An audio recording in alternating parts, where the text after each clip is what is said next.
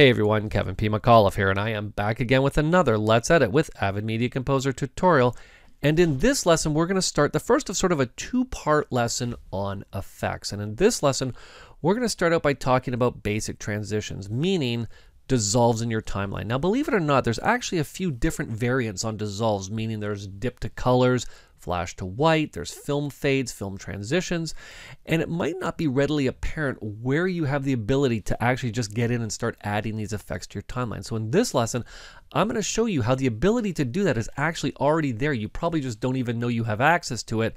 And we're really going to go in depth and I'm going to show you everything you need to know on how to manipulate your transitions to get them to look exactly the way that you need them to look quickly and easily inside of your Media Composer timeline.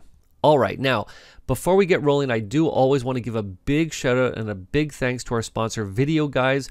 You know I always talk about them. They are your source if you're looking for Media Composer subscription licenses. You can check out the show notes below to find the links for the version of Media Composer that you're looking to get the subscription for. Don't forget to use that coupon code of MC101 to get 5% off your license purchase, purchasing it through Video Guys.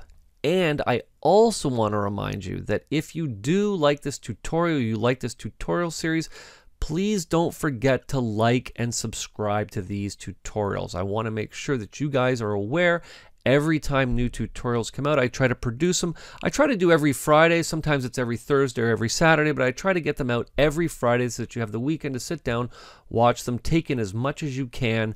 So please help like, subscribe, and share these across social media so that we get the word out there about Avid Media Composer. And last but certainly not least, I want to remind you that if you or your team are looking for one-on-one personalized Media Composer training, don't forget, you can always send an email to Kevin P. McAuliffe at gmail.com. I record all of the lessons we do. I customize them specifically for what you or your team are looking for. And I make sure that when we're done, there's never any questions about what you wanted covered. We get right down to the nuts and bolts of it so that you get everything done you need to get done in Media Composer to keep that workflow on track. All right, so I think that's a good place to leave off for the introduction. Let's just jump into Media Composer and let's get started. All right, now as you can see, we are an Avid Media Composer already, and we're talking about basic transitions. Now, there are basically three basic transitions when it comes to your editing timeline. You're going to have the cut, you'll have a dissolve, and you will have a wipe. Now, to be honest, 95% of the time or 98% of the time with wipes, you're just dragging and dropping them onto a transition point like a cut. It will apply whatever the fancy wipe is, and then you're good to go. Now, in this lesson, what we're going to do is basically talk about how to apply basic transitions like dissolves, like dip to colors, meaning like a flash to white and transitions like that because it's not readily apparent inside of Media Composer how you're actually going to get to these transitions. So before we talk about that, I should probably introduce you to the effects palette. Now to get to the effects palette, quite simple, Command or Control and 8 on the keyboard, whether you are on Mac and Windows, Mac or Windows, and you will see here, I'm not going to click on all, but I have a few third-party effects packages here from Boris effects, Boris Continuum. So you may not have these effects right off the bat. Chances are what you're going to start out with is the blend category. Now, believe it or not, in our next lesson, we're going to talk about the blend category. We're going to talk about one effect specifically, the 3D warp effect. But what I want to draw your attention to is the fact that if you start clicking through, you're going to notice that you really don't have access to any basic transitions. I mean, we have some wipes here you know, some sawtooth wipes. But what we want to get access to is just the basic transition, a basic dissolve. So how do we actually do that? Well, believe it or not, you actually already have access to it you just don't know it yet. What I'm going to do, Command Shift and equals, Control Shift and we, Control Shift and equals for all of my Windows friends out there. I'm going to head to my user settings. I'm just going to come down to my keyboard settings and I want to draw your attention right over here to the backslash key on the keyboard. You will notice that as I hover over, I am told that this is the standard keyboard shortcut for a quick transition. So what exactly is a quick transition? Well, let's talk about it right now. What I'm going to do is I'm just going to come down to here. Let's just put our effect in right here. And you'll see why I picked this transition in just a second. So let's talk about that quick transition. So to apply it fairly self-explanatory, I'm simply going to hit backslash on the keyboard. Now what's important to keep in mind, and you'll notice that as I do that, if you take a look at the actual edit point, I'm just going to sort of move the time bar away from it and hit that quick transition again, you'll notice that what Media Composer has done is actually highlight the transition point or the cut point that we're going to add our quick transition to. Now, if I had my other track selected, it would have chosen more than just video track one. However, Inside of the quick transition window, you actually have the ability to simply add those layers in as well if you hypothetically, let's just say I forgot, I wanted to make sure I added it to V1 as well or, or audio track 1, I could do that right here from within the quick transition window. Now, I'm not going to do that for the purposes of showing this to you. It's fairly self-explanatory. If we're going to apply it to one layer, we have multiple, layer, multiple layers selected. We hit the quick transition. It's going to apply them to all of them. All right.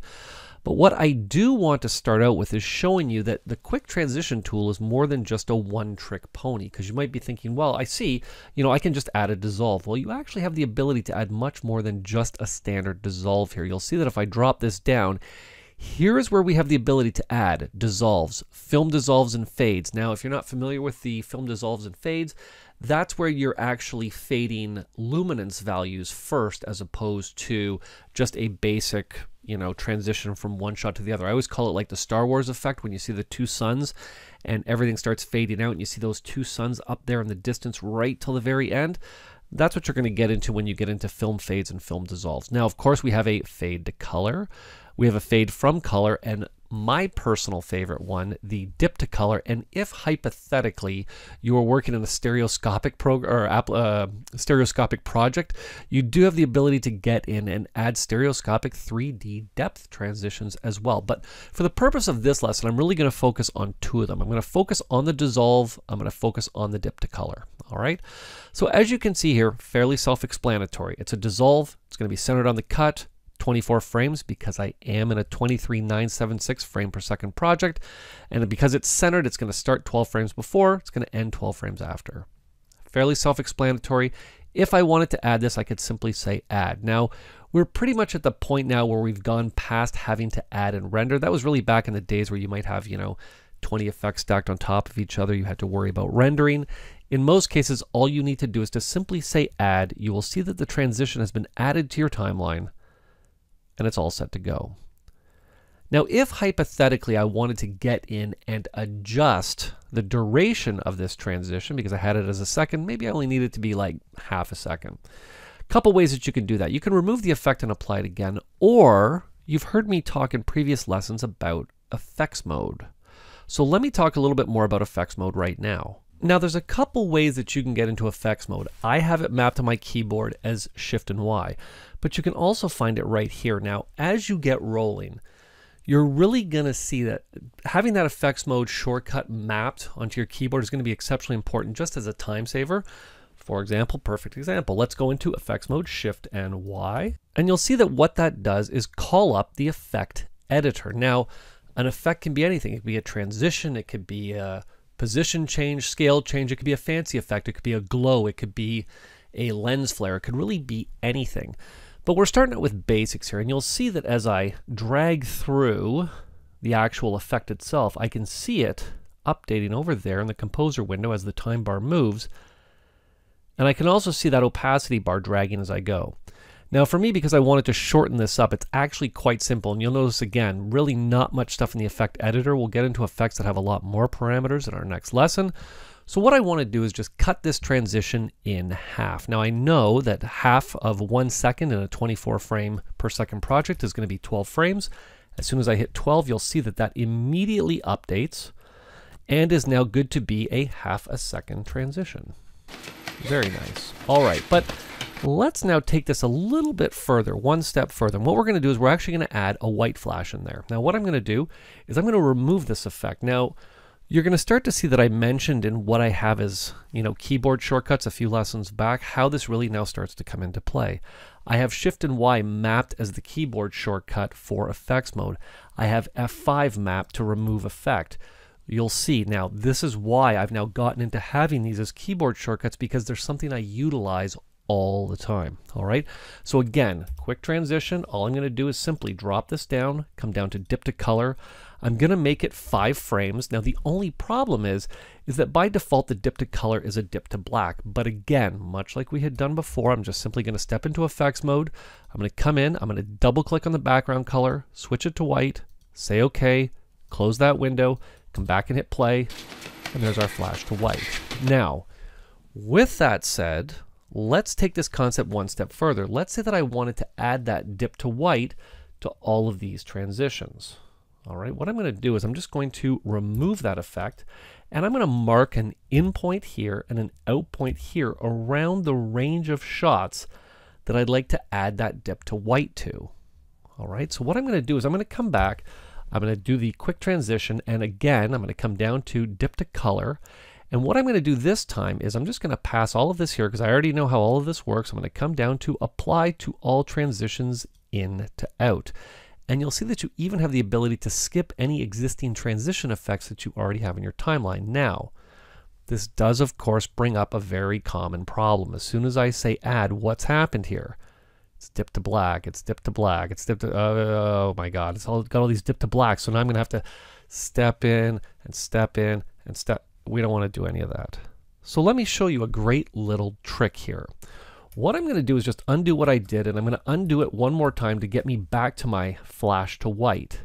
Now what I'm about to show you works with any effect, and you're going to see more about this in the next lesson, but what I'm going to do is I'm going to step back into effects mode. And you'll notice that inside of the effect editor, I actually have the effect icon right here in the upper left hand corner. As I move the mouse over it, you're going to see that my little finger appears, which gives me the ability, anytime I see that finger, it means that I can drag something from one place to another. So what I'm going to do is I'm going to drag this effect out and into my graphics bin. What I've now done is created a preset of this dip to white. So now what I'm going to do is I'm going to apply this to each transition. Now you can do it one of two ways. You can simply grab and drag, and grab and drag, and grab and drag. Or what you have the ability to do, and I'm just going to undo that a few times here, is if I step back into effects mode here, Shift and Y, I'm just going to move the effect editor out of the way here. I'll put it right there and you'll see why in just a second. What I'm now going to do is click on the edit point and hold Shift and I'm going to keep selecting. And what I'm going to do when I have all of the transitions, and of course I missed that one there, that's fine. There we go. Okay. Once I got all the ones that I want, and let's we should probably do the last one too. I've got them all selected now. All I'm going to do is simply double click on dip to color and boom, that flash to white is now in there in every transition. And the beauty part is, is that if you like to make a whole bunch of a different, you know, let's say you always have the same, you know, uh, dip to color that you use every time or a you know fade down to black or something like that and you want to take them and make them as effect presets, you can easily take them and put them into a bin and use them anytime. That works the same with any effect inside of Media Composer. All right? Okay, so let's now take this one step further. What I'm going to do is just remove this effect, and let's just go back to our basic dissolve transition. I'm just going to hit quick transition backslash on the keyboard on both Mac and Windows. What I'm going to do is I'm going to stretch this back out to be like, you know, 24 frames. And I want to show you that even though down here we have the ability to adjust the position to be ending, and you'll see it gives me a visual representation, centered on the cut, starting at the cut. We even have the ability to do a custom one and say maybe I want this to happen like, you know, three frames before the edit. You'll see that I can do like six frames before the edit. You'll see it update in real time right below. Or what you can actually do is just grab that transition effect and tell Media Composer, exactly where you want it to start in your transition, just like such. Now, again, I'm all about taking things one step further. What I'm going to do is I'm just going to center this up.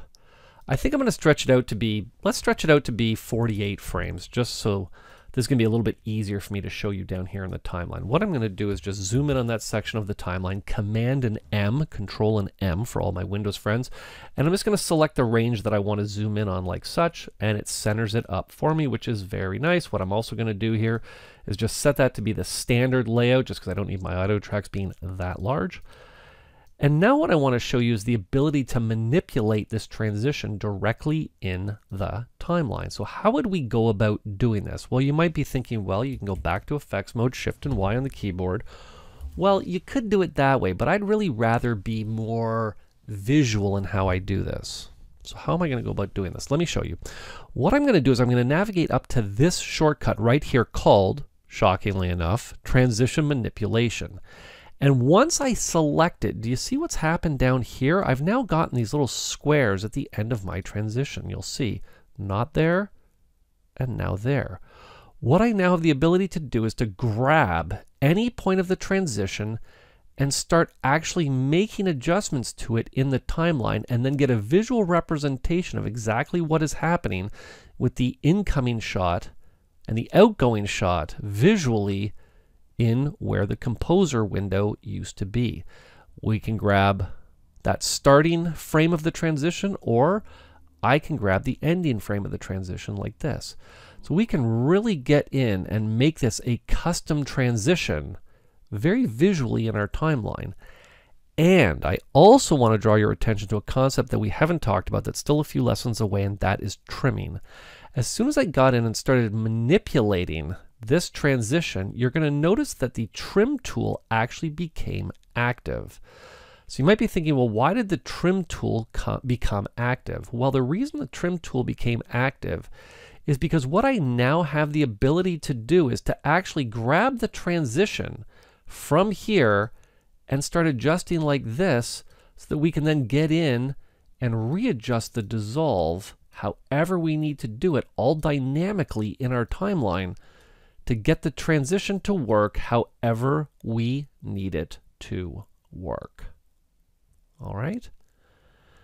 Now, to be honest, I could sit around and play with this for hours just because it's such an in-depth tool and such an in-depth and visual way to work, especially for people when you're getting into those film fades and you've got certain parts of the shot that you want to keep up for a certain amount of time and you want to get in and really manipulate the in and out points of your dissolves. This is a really cool way and a really simple way to get in and visually see exactly what you want to do in the timeline as opposed to mucking around with it inside of an effect editor or inside of a you know inside of any other window you can see it visually in the timeline and then get that great view of showing you the incoming and outgoing frames to get those transitions looking exactly the way that you need to every time. Now, as always, I want to give a big thanks to our sponsor, Video Guys. Don't forget, if you're looking for those Media Composer subscriptions, head on down to the show notes below.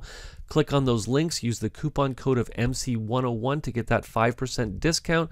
They have an awesome support team there. If you ever run into issues, you can always hit them up and get all of those questions answered. And please, if you like this tutorial, don't forget to like, subscribe, and share it across social media to help all the editors who are trying to jump into Media Composer, Premiere, and Resolve to get those. And don't worry, Final Cut Pro editors, I didn't forget you. And even Final Cut editors, I want you guys to be able to jump in here as well to get the most out of these tutorials so that you can quickly do what you need to do inside of Avid Media Composer with little to no learning curve. And last but certainly not least, if you have any questions, you can always send them to me at kevinpmcauliffe at gmail.com. Thanks a lot for watching.